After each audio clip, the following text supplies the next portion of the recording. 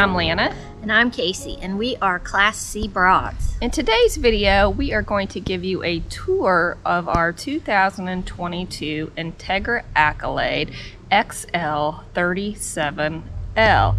We call her Big Lady. Get it? Entegra Accolade XL. She's big, she's a lady.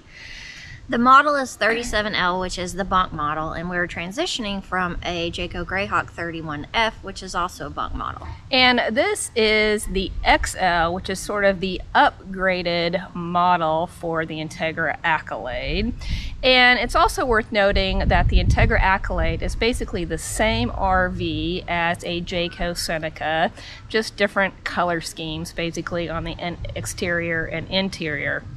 So, if you're interested in an Entegra Accolade or a Jayco Seneca or Jayco Seneca Prestige, which is their upgraded model, this is a video that you may want to watch. In addition, we're going to share with you some of the mods we've already made to the rig and also show you some things that we've purchased that make the rig a little bit more functional. So stick around. Let's get started. Let's get big. We're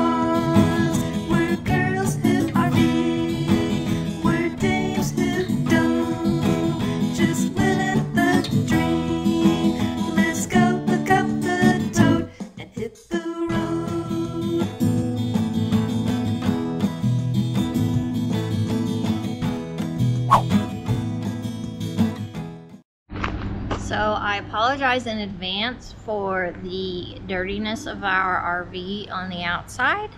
Um, you know, we live in this full time and we kill a lot of bugs on the road. So, take it as it is. Let's open the engine and take a look in there. Um, we don't really know that much about engines. We're not gearheads or anything.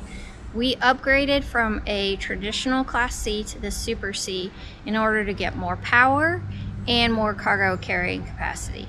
Our previous RV was a Jayco Greyhawk, and this Entegra Accolade has three times as much cargo carrying capacity. We also went from gas to diesel. Both Lady, our new RV, and our old RV, the Jayco Greyhawk 31F, are bunk models. We have a video that will put a link below that compares and contrasts the differences between the two models, so be sure to check that out. Even though this is much bigger than I am, it's very easy to get into the engine compartment.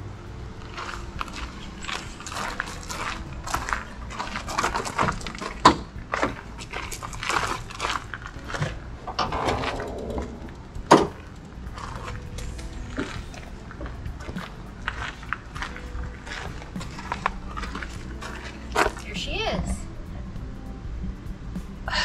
It's a big old diesel.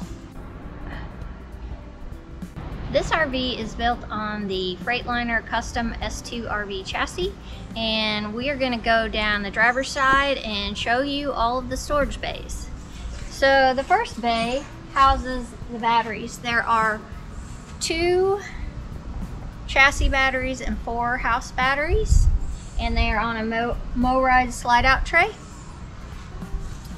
Then you've got three storage bays before the back wheels and they all have pass-through storage.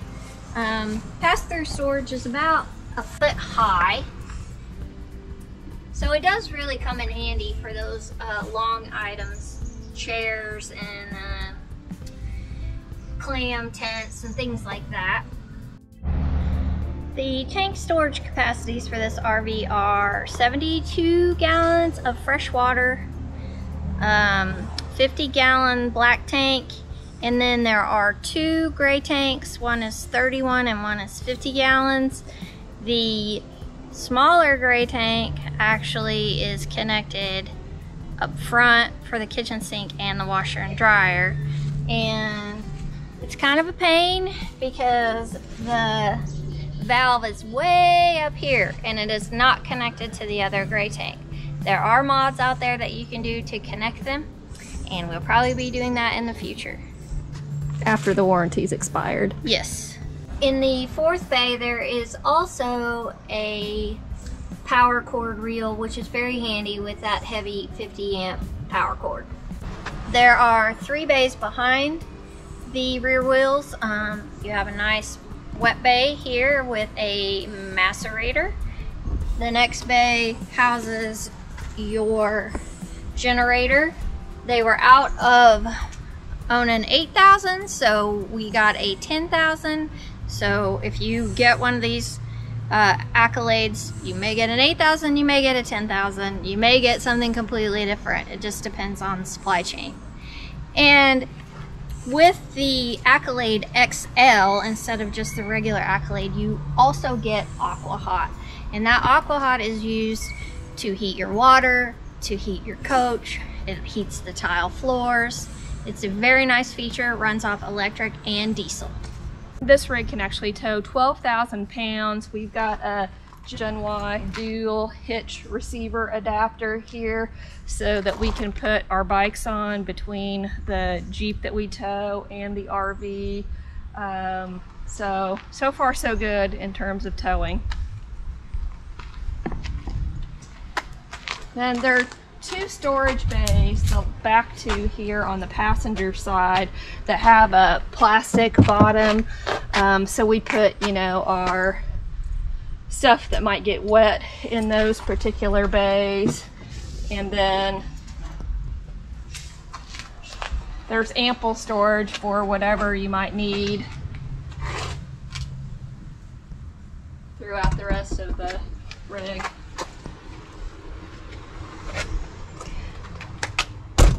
All of the storage bays, other than those back two, are carpeted. Yeah. They say it's for sound deadening. Eh, it's not our favorite, but we can live with it.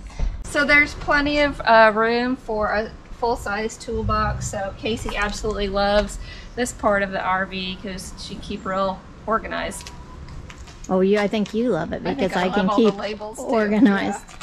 And then I mean, we've even got, you know, storage bins that we're not yet using that we need to put back in actual storage. So, you know, we've got plenty of room here. We also have an outdoor entertainment center that consists of a TV and a stereo.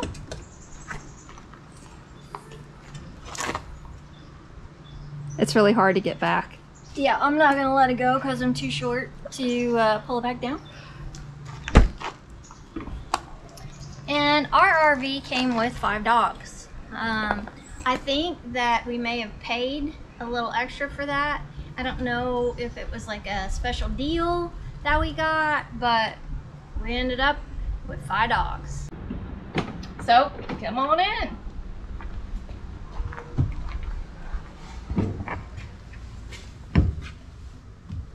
So I think the first thing that you're going to notice about this Super C is just how big the living room feels. In our previous uh, regular CRV, we only had one slide. Here we have opposing slides, and the living room area just feels huge to me. Uh, speaking of huge, we have this ginormous TV right here. Um, it's a little awkward design because, you know, if you're sitting on the sofa here, it's kind of an odd angle. It does tilt out a little bit, but the viewing angle isn't that great.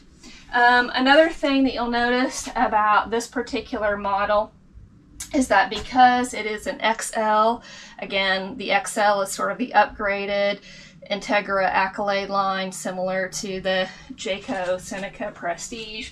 There's additional storage space above the dinette area, and it's deep enough that you can fit regular size shoe boxes in here and probably put something in front of it. But I really, really love the extra storage space. Over here, we also have a fireplace. It puts out 5,000 BTUs. We haven't yet used it because it's still summer out, but we're very much looking forward to that. Another thing that we haven't used because it's been summer out is this coach comes with heated porcelain tile floors. That is because there is heat provided by the AquaHot system, which runs on either electric or diesel. I should mention this is an all electric coach in the sense that there's no propane on board, which I like because I feel a lot safer when there's no propane on board. Um, over here, there's great countertop space um, and, you know, decent drawer space. We've got an induction cooktop right here that we hide underneath a cutting board. The cutting board did not come with the rig. I'll put a link to the cutting board below if you're interested in getting that. Um, there is a convection microwave up here, and then again, just you know, storage space, decent drawer space down here. Um, there's enough room for trash bins in there as well. There's an additional little cubby right there. I should mention right as you come in the door, there's this nice little storage closet that you can, you know, put all sorts of junk in. Another thing that is great about this Super C is that it comes with a full-size residential fridge. Although you can see we've got our fridge covered in beer stickers, so we clearly need an even bigger fridge. Um, it's really nice too because this whole bottom space can be either freezer or refrigerator. We have it set to freezer, um, but you can control all that with this little display here. Um, but very nice design, and I like the way these latches work during travel days. The pantry is pretty lacking in this particular model as well. This is our entire pantry space. So we're using some of the cupboards above the sink for uh, pantry storage. So we're obviously dog people, and that means that we have to pretty much cover everything. So we've got a nice sofa cover here. We've got some covers that fit nicely around the dinette cushions. And we've even got some covers for the seeds in the cab area. And we'll put the link to those items in the description below. But if you're interested in all of the stuff that we use in the RV, please go to our website because we basically have a page devoted to all of our different RV accessories. A couple things that I did want to mention here is this really nice storage ottoman. It's a little dog-eared thanks to Earl, but it does collapse and it's just a great functional thing to, to have in the RV. Another thing that we found useful because that viewing angle for the TV is so awkward is this little collapsible chair that this and this reclines a little bit more but you can basically watch tv on the floor and that provides a much better viewing angle than the sofa So we're in the cab area if you couldn't figure that out. Um, the Accolade comes with a, I believe it's only in the XL that you get the 10 inch screen. This is a nice Sony system. It does have Apple um, Play and Android Auto. And um, all of the Accolades and Senecas should come with these nice covers for the front windows. If yours didn't, it should have, so you need to ask somebody about it because they are very nice. The cup holders are lacking in this chassis. Um, someone in one of the Accolade or Jayco groups came up with this 3D print to help with the cup holders. So I printed that, but I also, um, we use this cooler up here for extra space for us, and it's also handy for storing things. And I've done some 3D prints uh, for that as well. And I actually created a little 3D print up here to give us more storage room because really there's nothing up here in the console area for storage. You have three cubbies up above for storage, but sometimes those aren't too handy, especially if you're trying to charge something. Uh, chairs are very comfortable. I know that people have said online some people aren't very happy with them. But they are such an upgrade from uh, the Class C that we had before. Lana really wants me to pull the air horn here. Um, so I'm gonna do it, but uh, don't tell my neighbors who it was. So you get a baby horn here, and it's only this circle. So don't try to get mad at somebody and hit over here because it's not gonna do any good. You get your baby horn, you get your air horn. You trucking. in the cab over area, we're obviously just using it as storage right now. It's sort of a work in progress. Don't judge. We're still trying to figure out what we really need and what we want inside the RV versus in the basement storage area. But suffice it to say, there is plenty of storage in here. I don't feel like we're lacking for anything that we had in our sticks and bricks. The dogs don't need bunk space. They don't need their own rooms. So we've converted this space into storage for us. And what storage means is probably a little different than what you're thinking. Um, the the bedroom doesn't have a closet, a hanging space, and we'll get to that in a little bit. So in here we created a hanging area, and we don't have much to hang, but we put a closet rod in here and had our our uh, hanging stuff put in here. It was a little bit too short, and I realized that when you take the mattress out, if you open this up, you can get about six more inches. So this area, we've taken out the um, frame for the mattress so that we could hang our clothes, and we even have a little bit of hidden storage under here. We left the rest of it so that we could stack things on it, like my 3D printer, which works great in the RV. And if you don't have one, you should get one. Welcome to the pooper.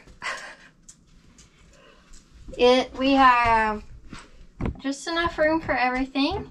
Got your commode. There's a 30 by 36 shower with a nice um, skylight in it. Kind of got a tiny sink, but you get all this room over here for your stuff.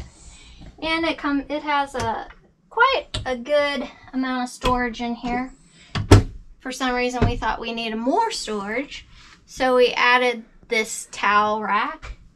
And it, it it's great for towels that we don't use, that we probably don't even need. So If you're a big family, this might be good for you. Yeah, and it's tension from the floor to the ceiling, but we also put some connectors in the back so it won't fall over when we're traveling. Haven't heard any rattles or anything. It hasn't moved around, so pretty good to go. We'll put a link to that. Um, there's a nice fan in here, but for short people, it was really hard to open the vent. So I 3D printed this little handle here and thanks to Brian Miller for the initial design, I actually extended it a little bit. Much easier to open the fan.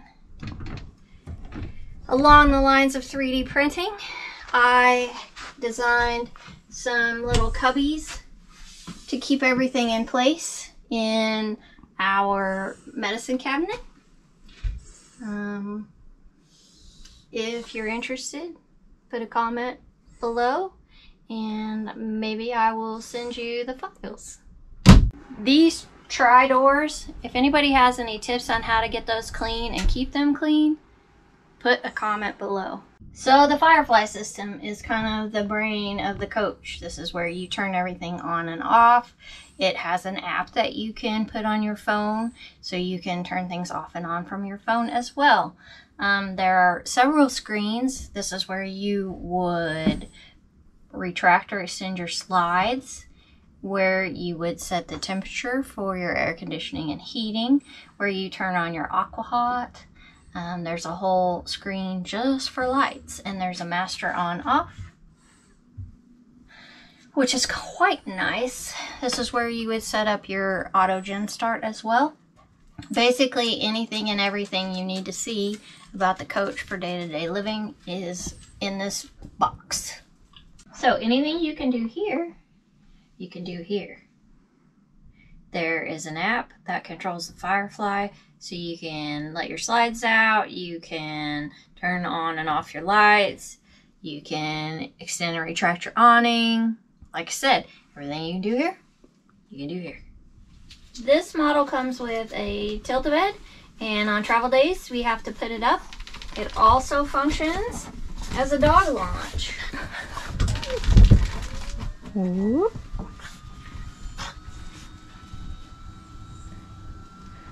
What?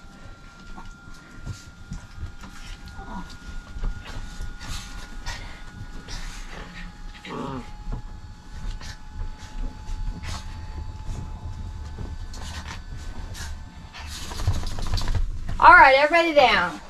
Come on. Let's go. Welcome to the bedroom, also my office.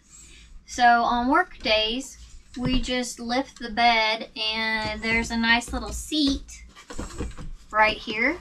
Percy is my assistant. And I got this folding desk on Amazon and it works perfectly. I have all the room that I need. Um, I can shut the door and kind of be in my own little world. What we were talking about earlier, not having a closet space, is because in the XL, you don't get a combo washer dryer unit. Um, in the regular Accolade or Seneca, the bottom of this is drawers. But in the XL or the Prestige version, it is a stackable washer and dryer. So there isn't any hanging storage. The storage over here didn't come with a hanging pole. We have put in drawers, and that works very well for us. Um, we only wear t-shirts, so how much storage for clothes do you really need? There's storage behind the TV, and there's also a little cubby next to the TV, which is where we store our laundry stuff. Uh, above the bed, there are three cubbies. And we've put a little shelf of uh, right below that, kind of for our charging station at night.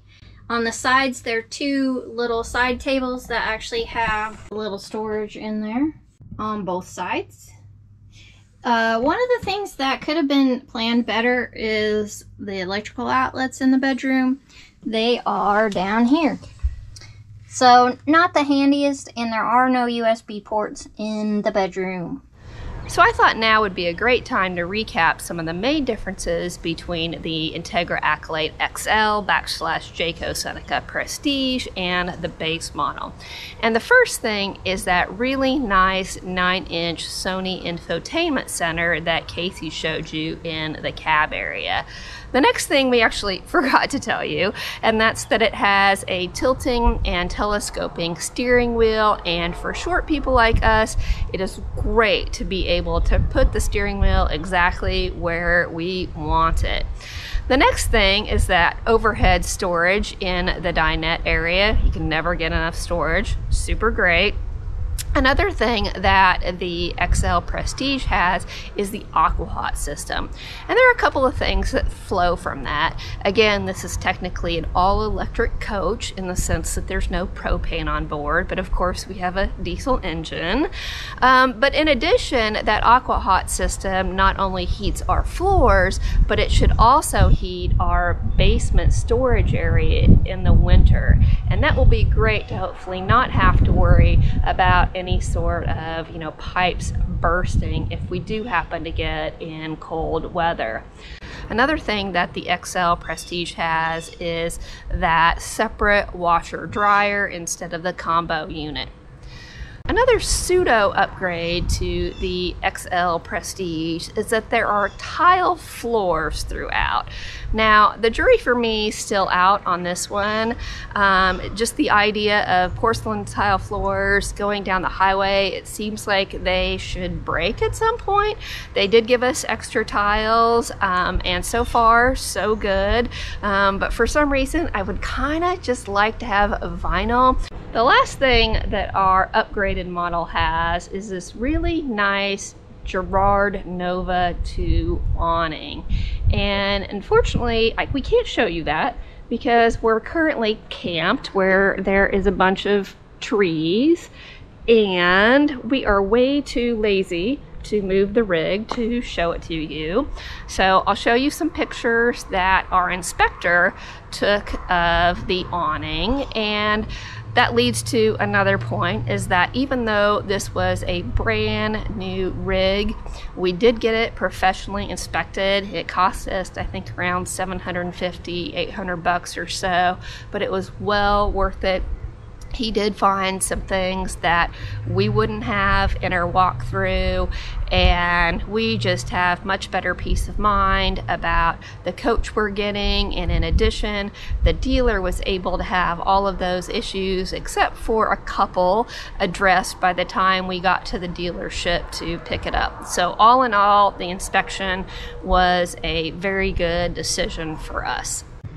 So, I'm sure you're wondering, how much did this big lady cost? That's a million dollar question. Well, we didn't pay a million dollars.